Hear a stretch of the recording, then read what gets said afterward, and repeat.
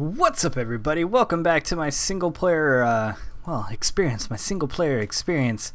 Now I got some good news and some bad news. The good news is, um, I'm going to be teaching you guys how to make somewhat of a perpetual energy, well there's no such thing as perpetual energy as I'm going to be wasting one, uh, well some resources and stuff like that, but, um, in the last few episodes I was kind of showing you guys how I was going to be bringing in um, lava cells into my geothermal generators here in this world. But it's uh, the problem with that is that I have to go to the nether every time for that, and it's just it's going to be a pain in the ass. But what I did figure out is that this little amulet that I made, the volcanic amulet, uh, will actually make lava source blocks for me. So here, I'll just dig out this with my pickaxe. Just ignore that. But when you use it, it, it fucking uses. I'm, I'm cursing. I'm, i apologize. It uses energy out of my Kleinstar here to make uh, lava source blocks. So I thought to myself, I was like, well, why can't I just do that? Set this up with an automated system and uh, not have to go to the nether. And which I did do this. I was able to do this.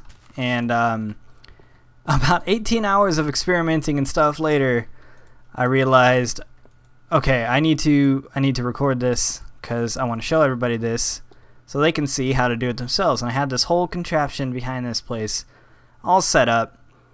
And then when I logged out to uh, to start recording, my my my save got corrupted. I'd show you now, but I have to shut down Minecraft and everything like that. But basically, it just didn't load uh, half of the chunks in my little area here. So when I logged back into my world, I was being suffocated, and I was, oh, what's this? What's what's all this going? You know, and um, basically everything from this lily pad right here, that way in the world, was just gone. I this was still carved out. I still had my portal to my nether. I still had even this here with my coal dust in and everything like that. It's just these chunks right past here, all corrupted and got reset back to their, their, uh, their original positions and stuff like that. And from the looks of it, I don't even have my system set up yet for these. Yeah, wait, no, I have a hole dug here. Hmm.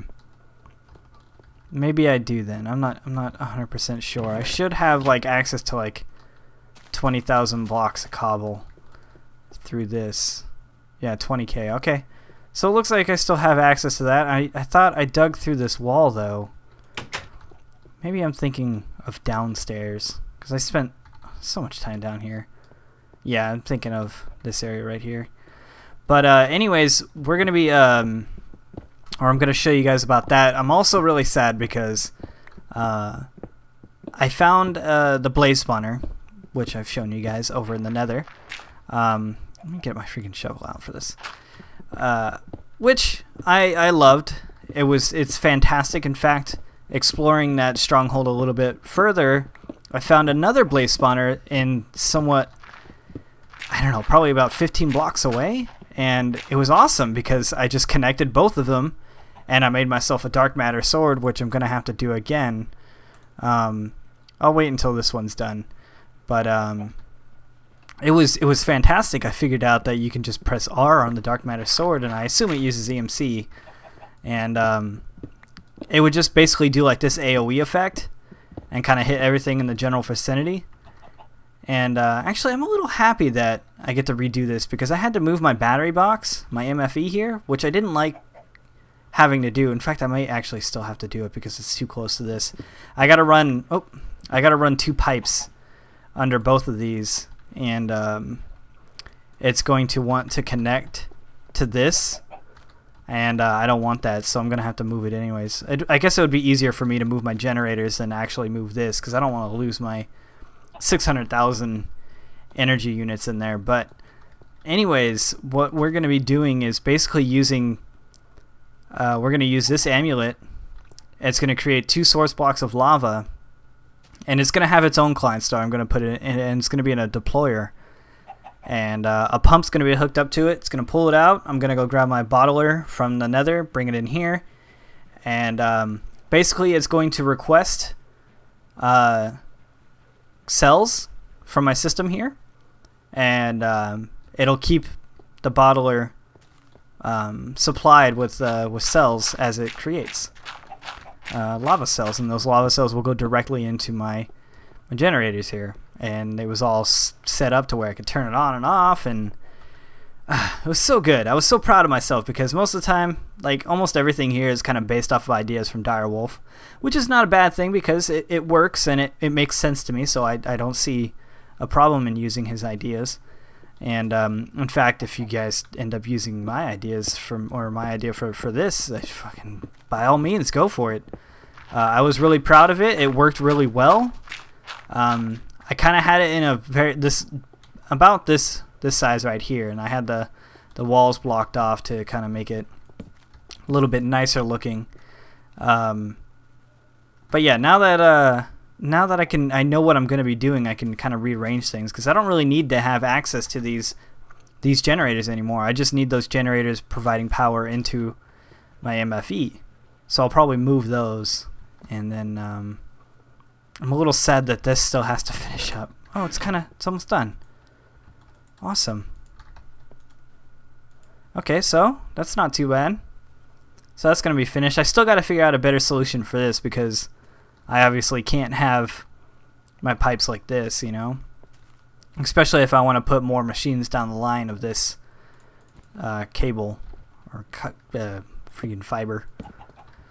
But anyways, let's uh first step of this is actually I still want to get some blaze rods, mainly because uh, I need them to make ender chests and ender chests are still going to be very useful for me. So uh, let's go to the nether go hang out a bit. And in fact, I'm not actually streaming this time around, which I think is gonna it's it's it's less distracting, which is is nice to me. Um, because when I'm streaming, I'm I'm paying attention to people in the stream and not really what I'm doing, and that's not really fair for the people who watch these on YouTube afterwards. So actually, I'm gonna I'm gonna let that finish out because if I'm gonna be getting blaze rods, I might as well let this finish out its uh, its session. But then we're going to take all this junk and we're going to move on to, uh, or move it over to the overworld. But first, I want to show you guys um, the blaze spawner thing that, uh, if I go the right direction, maybe. And uh, this right here, my little ring of ignition, and my, uh, what is it, the Swift Wolf's Rending Gale.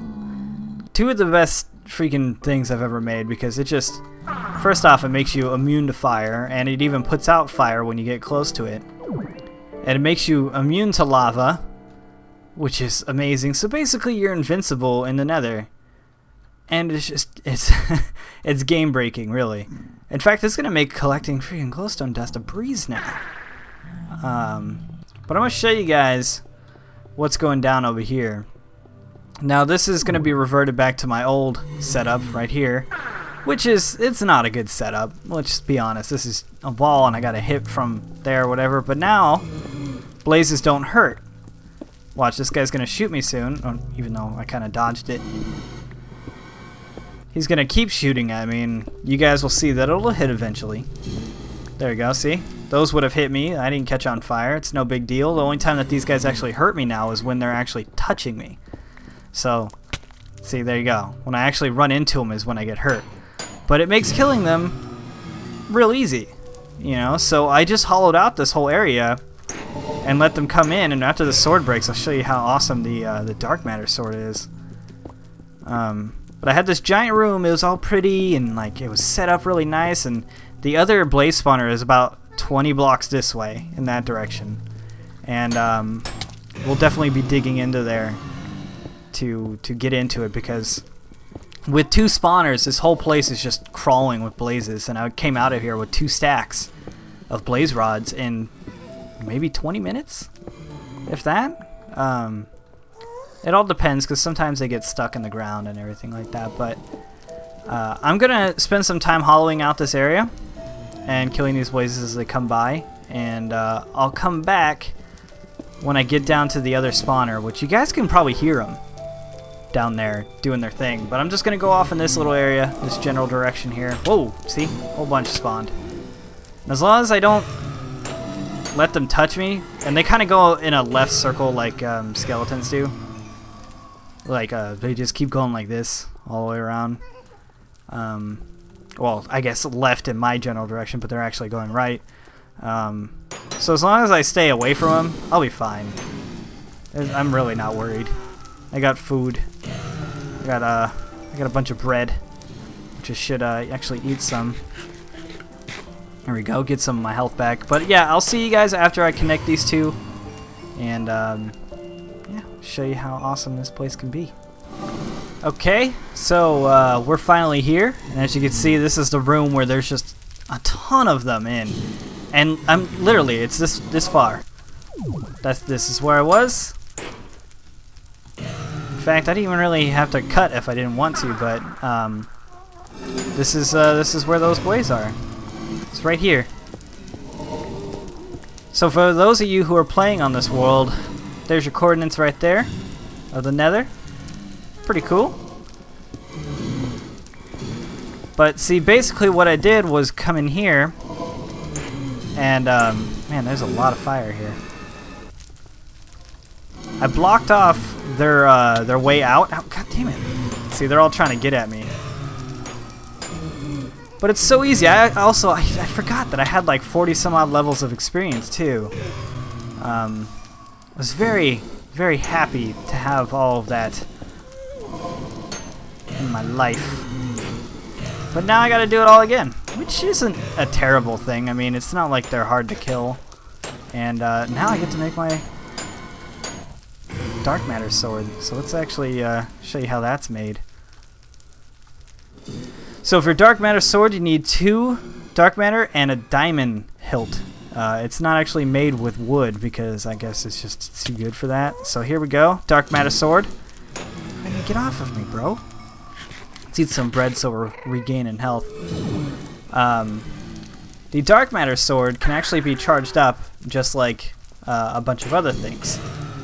So let me actually block off this area. They're wanting to go that way a lot.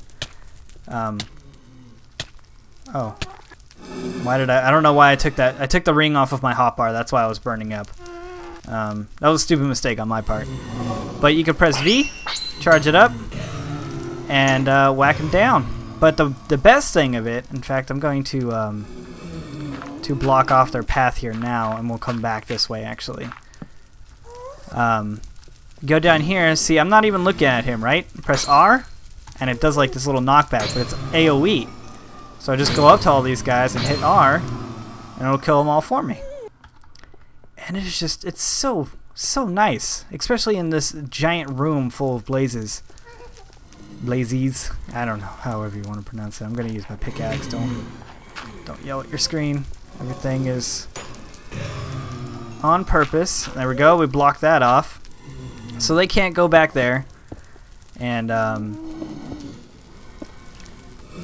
basically I'm trying to force them into my other area. Because I don't want them to run away or anything like that. I just want them to go up the one little chute. And uh, that be it.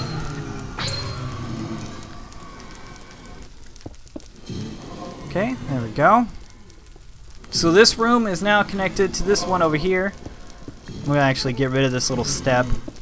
Because they don't need it. They, they fly.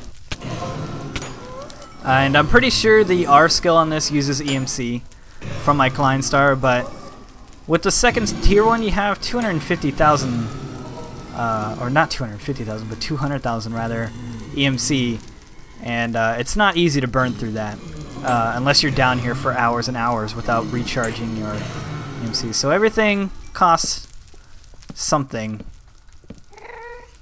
but it's no big deal. We fly up here, and we say hello to our friends, hit R a few times, and just watch them all die.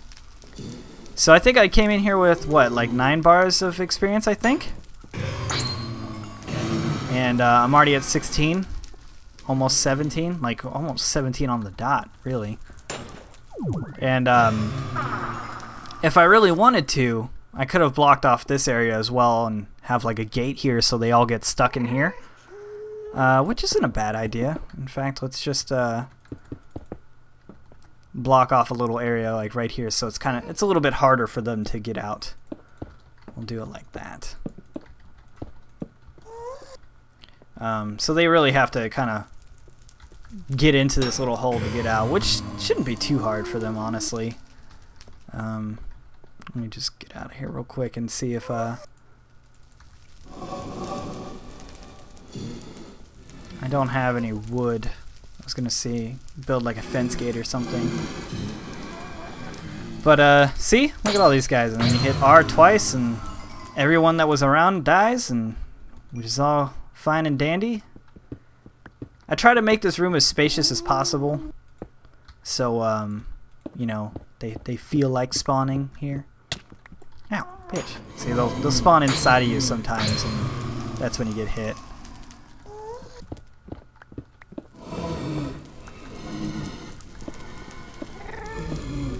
Do uh do axes take down their fences faster? Because I feel like my pickaxe does it just as fast. I don't know. I've always used a pickaxe. I always assumed they were made out of stone anyway, so... still hear blazes above me too, though.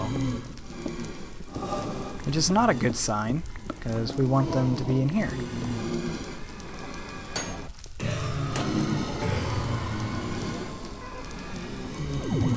Oh, here we go.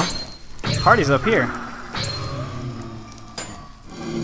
So basically, if you don't want to aim, you just go into the group and just hit R a few times, and then you're good to go. So let's, um, we have nine blaze rods on us, and we already got over half a stack. Which is uh, awesome. I'm very happy with. In fact, I'm going to stay here and try to get about two and a half stacks of, uh, of blaze rods and experience, because it's helpful, you know. No one, uh, no one hates experience. In fact, I'm gonna make this place a little bit more friendly for them, so they can fly around and do their business.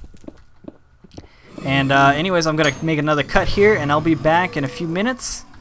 Won't take that long. Uh, at least be here as long as my bread will hold me. And uh, see you guys in, a, in in in just a flash of a second. In fact, uh, just uh, hello future. Say hello to future me for me. Do do that. Do that much. Be like hello future Dwight. How how are you? I'm doing good. That's good. How's your family? Everything's all right. Okay, so here we are back at the base, getting uh, getting prepped to make the uh, the little machine. Uh, I came out with about two and a half stacks of blaze rods, which should be plenty. Um, I don't think I'll, I'll, need any more than that. Um, mainly because I'm only going to be using them basically for ender chests, and other than that, I don't really see a huge use for them. In my personal playthrough, I mean, there may be recipes later on where maybe this copper electron tube, tube needs it, but uh, if not, you know, whatever. Uh, I, as you can see, there's there's a little bit of extra work done here because uh, I did about 10 minutes of work or so before realizing that um, it wasn't recording. I just kind of went in. I was like, all right, so here we go. Got all this shit and junk. And so basically, what you guys missed, I made an electrical engine, which I actually need to keep on me, and uh, and a deployer. Other than that, I just gathered all the stuff that was um, from the nether, bringing it back over here. And uh, basically, the way this is going to work, we're going to be using a deployer, which is from Red Power 2. Um, which will right click basically not basically it'll right click whatever item is inside of the thing. So if I have a redstone torch in there it'll right click it when um, when I uh, apply redstone thing to it. So boop there you go. Little redstone torch. I didn't even know it was actually going to do that. I didn't think it could actually place things but um, so yeah it'll right click whatever's in its inventory to its adjacent block or further if it has a special item in there such as the volcanic amulet now what I'm going to be doing is putting a uh, Klein star, very small Klein star inside of this thing. And every time I, I give it power, it's going to activate the amulet, which in return gives me lava source blocks, which is going to be very helpful because I'm going to automate my system here. So I only want two blocks of it, so I, I took it up one charge. So there you go, just one little charge, and we're going to just keep that in there just to um, just so it stays out of our inventory basically. And uh, I have I've already picked up my two geothermal generators and covered up the floor again, um, because I don't want to look at them because there's going to be no reason to. So let's get our pump and uh, where is it? I need some stone to put that there and our pump. And uh, let's put like two redstone engines on it. Not gonna really need any more um, because it doesn't it doesn't need a whole lot. Uh, I'm only be pumping up a little bit at a time and eventually it'll stockpile itself and actually suck up more than it needs. So we'll get that going but as you can see the pump isn't actually lowering its arm because it doesn't sense any any liquid underneath it so what we're gonna do is take out our little amulet here and put those two there. And now it knows that there's liquid there and it'll lower its arm. Then we need to get our redstone wires here. In fact I'm only going to take it to right here because um, I'm going to be putting a timer on it which is going to uh, automate this to only deploy every few seconds. So now that we got that set up we need our bottler which is in my bag I think still it's a green, green little thing. It says bottler on it. Do I, what happened to my bottler? It's not in here. Did it get destroyed? What happened to it? Down a bottler and I don't know what happened to it. Hmm. Okay, give me a second, guys, and I'll see if I left it somewhere. Hmm. Okay, so I can't find it, so we're just going to make another one. It's real easy. It's just a sturdy machine with some glass and cans around it. So I already have sturdy machines made, so let's request one of those. Um, let's do 310, and I think it was 4 glass, right? Pretty sure we'll just request that. There's my glass. Okay, so uh, actually we need to make our cans first, so there we go. I got our cans. And um, glass around it like that, and bam, we got our bottler. So there we go. We got that. We need some golden waterproof pipes. We're going to put that there. And then our bottler right there. And as you can see, it's immediately pumping lava in because it uh, has some stored inside of its buffer there. And it's already out, which is fine. So there we go. Uh, this is going to need to pump into something else, which is going to be this chest right here. Now this chest is going to act as a buffer um, between uh, this and the two geothermal generators, which I'll probably put right here because they actually need to have items pumped into the bottom of them uh, for them to go into the bottom slot. I could probably use sneaky pipes, I'm not 100% sure. Uh, electrical engine is another thing in forestry which converts industrial craft energy to build craft energy. So you can take energy from this line source right here, the glass fiber from our wonderful MFE, and transfer it into one of these types of engines, uh, power, which is uh, something which is very nice. In fact, I'm going to use it right here to power this machine uh, in fact, I can probably put that right there, save myself some time, and um, okay, that has to be there. I guess it doesn't have to be there, um, but it, it's fine because I'm going to be covering this wall up like right here anyways. So let's actually put that up so we know where we're at. Uh, so when I'm wiring things, uh, I can kind of keep it close knit.